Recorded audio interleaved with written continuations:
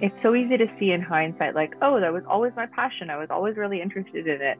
Uh, and it is true. I was always interested in um, dressing up and play acting and part like kind of storytelling with putting on costumes, sketching things, sewing, like kind of all of the aspects of the job that I do now.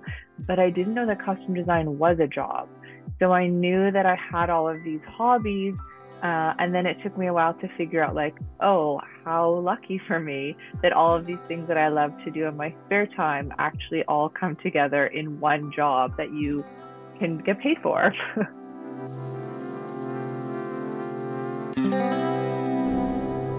Three quarters full, and people are still coming in. Yes, I can hear them. I can hear their hushed whispers, hoping and praying for a disaster that will prevent my nuptials from being finalized. Are you listening to yourself?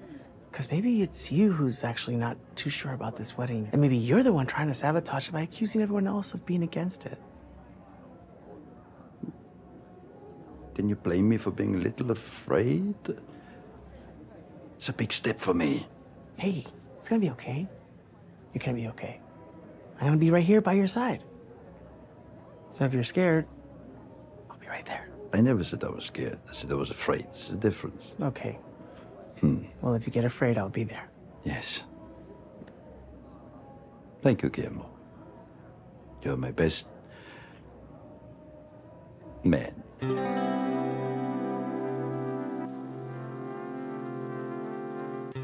a wedding is usually kind of an easy thing like you know it's a wedding there are going to be a lot of costumes the wedding dress the wedding party the wedding guest so that on its own you know we did a really special thing for Nandor's wedding look was a bit of a departure for him. You know, every season vampires have to do formal wear, so I feel like every year we're kind of upping the ante with them. But this year, with it being his wedding and he's a total groomzilla, so he really had to be extra special. So we used, you know, shapes that we hadn't used before, and we just built from scratch. Like everything that he was wearing was new and designed for him. But then also in the episode, there was the makeover montage at the beginning uh, where Nadja and the guide take the Baron, who's embarrassed about the fact that he's a charred torso, uh, with one arm fused to his body. Um, they take him for a makeover at a tailor shop and they dress him up in all kinds of like, it was really just a buffet of wacky costumes. Like, um, you know, biz- I think some of them even got cut. Like a businessman with a trench coat, little sailor boy, where we had to scale down the little sailor costume so that the feet were at his waist. Um, the candy stripes on the bicycle matching with Nadja, and then the other characters got into it as well. So we were building for Nadja and for the guide, and it was just, I think I can't remember how many um, little vignettes it was, but it was the fact that it was a montage um, with, you know, really funny costumes, I think, and costumes on really interesting bodies.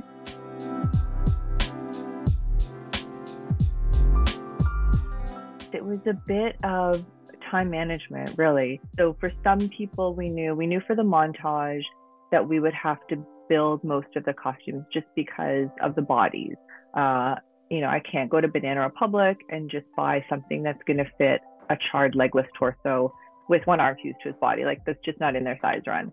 Um, and so I knew I had to uh, put a lot of our time and resources into Nandor because he is the focus. It's his wedding, um, also his bride, I was able to do a bit of a workaround with her. I was like, okay, 10 days, we can't make it. We don't have time or money to make a wedding dress.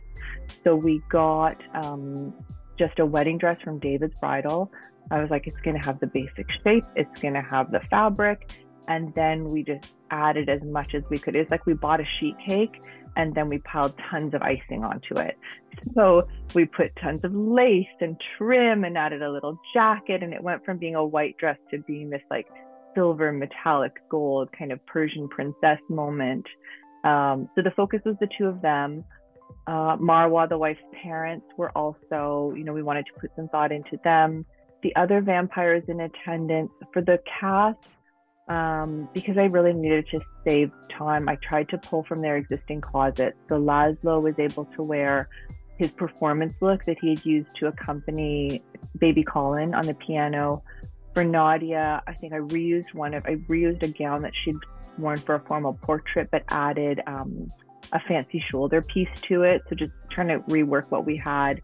And then the other build that we had to do, the sire was scripted as wearing a tuxedo, and the sire is that big quadrupedal winged creature. So building a tuxedo for someone who walks on all fours, has an enormous tail and wings, that was that was kind of a marvel of cutting actually to make the it, I think it fit really well.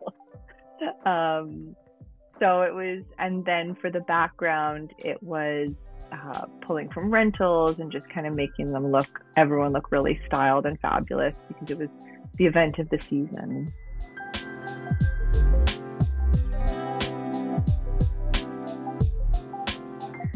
I think the biggest challenges were just creatively, I think, coming up with um, new ideas for especially and then just having the time to produce them. Because of the format of shadows the way it was structured from the beginning it's a documentary style format and they have what's called the talking heads which is the interview where they're like direct to camera. And the way it was set up initially it's unlike for example a drag race type of show where every time the performer is talking to camera they're always in the same thing. For us it's more of like you know they grab them at you know moments when they were available. So throughout any given episode each lead might have between four and eight costume changes and so when I can pull from closets, that's a lot easier. I can just kind of mix and match. But for Nadja and the guide in particular, because they were at the nightclub, it was we kind of had to create a whole new wardrobe for both of them. So the challenge was just like, you know, not wanting to reuse too many pieces, but you know, how do we come up with more and more things? so it's a lot of juggling of time and schedules. What I love about costume design is I think it's the marriage of a few different things. I mean, I love, I do love clothes very much. um, I, I love textiles. I love making things. Um, and then I think ultimately it's about storytelling and being able to kind of contribute to telling a story and creating a character. And it's also a lot of it's make believe and it's also nostalgia. Usually, when I'm thinking of a character or a piece of clothing or a costume, it comes from somewhere like someone that I know or someone in my past or even a historical figure.